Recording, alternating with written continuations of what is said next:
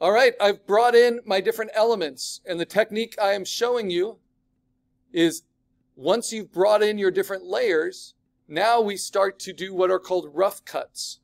So the first layer I bring in is that background layer. I don't need to cut that out because it's the furthest back. Other things are going to go on top of it. The next layer is this one.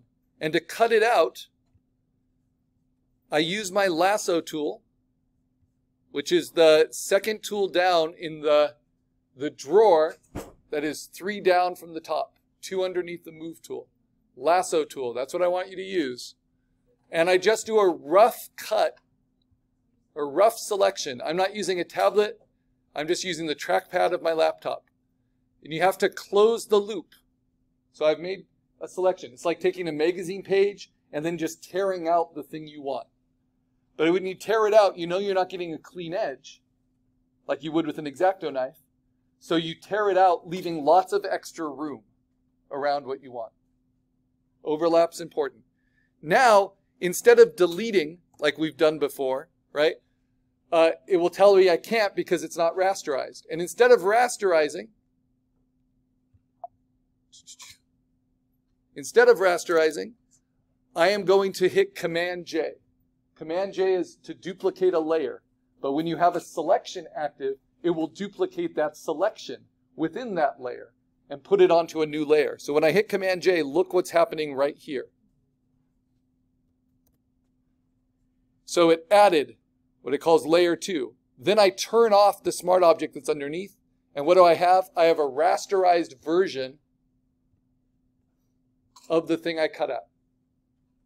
And if I ever need to get more from it, if I accidentally cut too much or I want another part of that reference, I still have that smart object in my library of layers.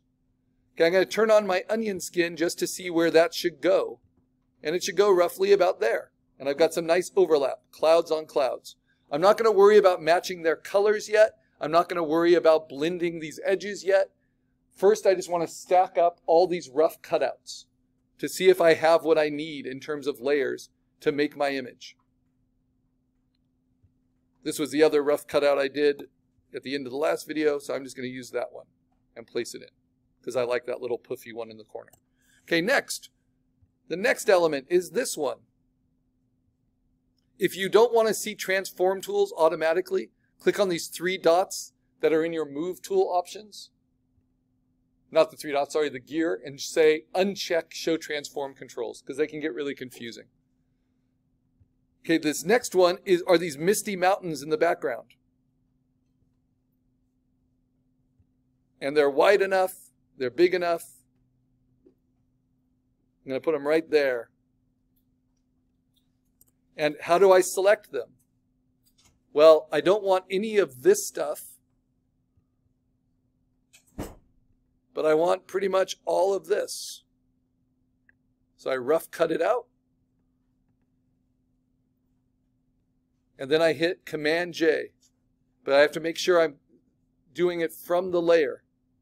So Command J, it puts it on top. I turn off the smart object underneath, turn off my sketch, and then I can move this one underneath my other one because you want to stack them so that they go in order, right? This to this to this. Just to show you how effective this is going to be when we start doing color correcting, is that Sometimes all it takes to blend background layers is playing with opacity. Like blending these clouds into that background. but right now I'm just going to keep everything at 100% opacity. Okay, next. In fact, I might even do this. Put these clouds in between, and I might just grab these clouds roughly. So this is no longer my furthest back layer. Duplicate that so that that sits on top. And then Command T, free transform my clouds to stretch up and be even bigger. So you can adapt this, the scope as you go. All right, next. Got another peak. To bring it in. I'm to have five layers just in my background. I don't know if that's good or bad, but I can have that. Some options. I can transform this before I cut it out. I can flip it horizontally if I want. So that all these mountains are kind of, the wind's kind of pulling in the same direction. The lighting feels similar. And I can shrink it before I cut it out, right? I don't want it to be too symmetrical. So Command T, I'm going to make this one a little bit smaller. It's going to fit in more with this peak. Or I can hold down Shift and kind of squeeze it so it looks even a little bit more surreal. Because it's organic, I can do that. Now I'm going to cut it out. How do I do that? Rough cut, like tearing a magazine page. I don't want those hard edges. But I do want all this bottom part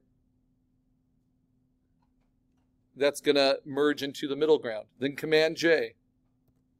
And then turn off the smart layer.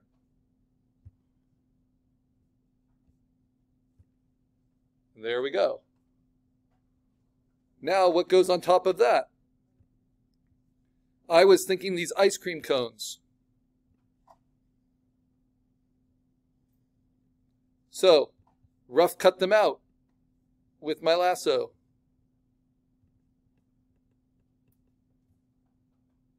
Later I'll use magic wand and get out get rid of all that white background. But right now, just rough cut.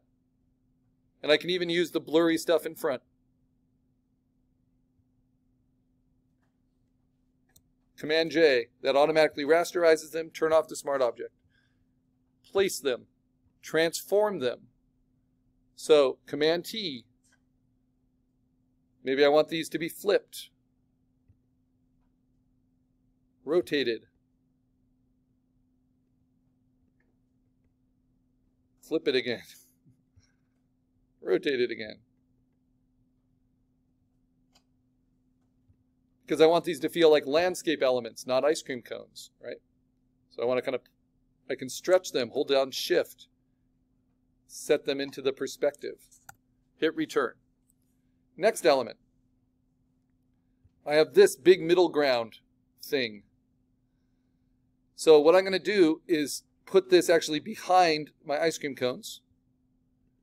Command T it while it's still a smart object. Stretch it. I'm just going to use some of these lollipops as like further background.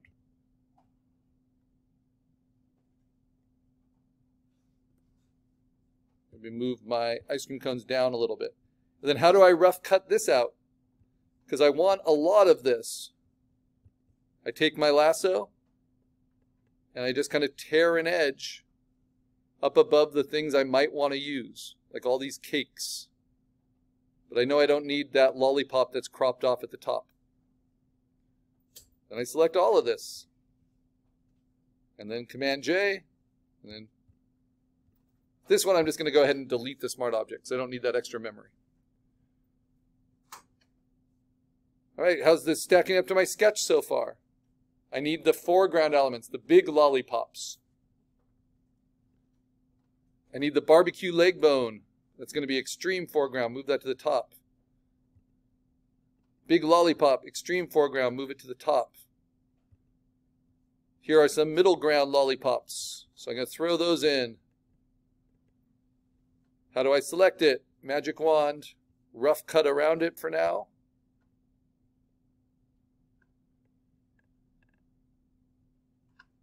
Command J. Place it. I'm going to put it behind the ice cream cones, just like stacks of paper. Maybe move it up a little bit. Maybe free transform it. Maybe tilt it. Maybe distort it just a little bit. So they feel like they're sticking up kind of like trees. I'll cut them out later. Next, I've got these muffins. Oh, the muffin tower. Yes, this was something I was looking forward to. I want it around here. And I want it actually a little bit bigger. And that's going to go in front of the ice cream cones but I need to rough cut it out. So I use my lasso I just want this tower.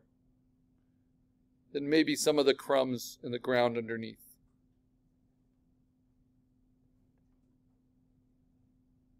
These are like boulders. But rough cut, lots of overlap. Command J.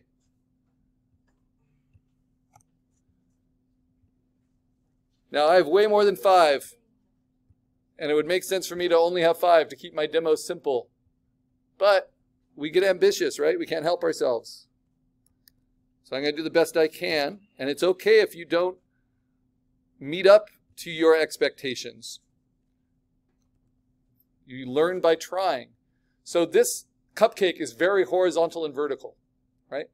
I'm going to actually play with it with transform. Instead of warping it, I'm going to play with a tool called perspective. And I'm going to just shift the angle of it. So it looks like we're looking over the top of it a little bit. And I'm going to shift it a little bit on the bottom. And then I'm going to use distort just to tilt its axis a little, axis a little bit because it's more in the corner of the frame. And this will be the first of my foreground elements. Put it right there.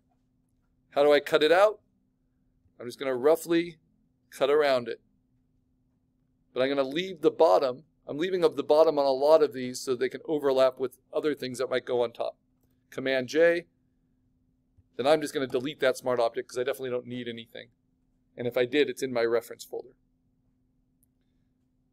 All right, above that, got the leg bone, got the lolly, the hero lollipop. So my hero lollipop, which I'm kind of using that cupcake for right now, I'm going to rough cut this out.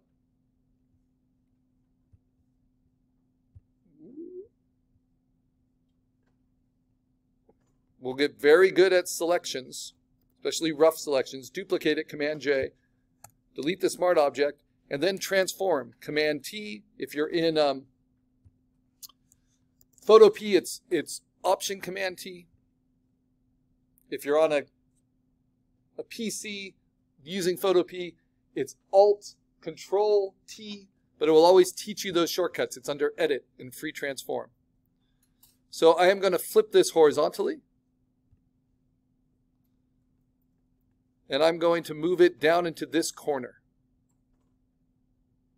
No, that's tough. Yeah, I'll move it into this corner.